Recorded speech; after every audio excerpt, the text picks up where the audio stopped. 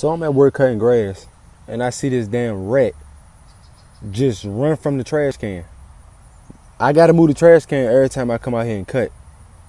So once I move the trash can, I just saw this fucking ball of goddamn rats, baby rats, just fucking going crazy.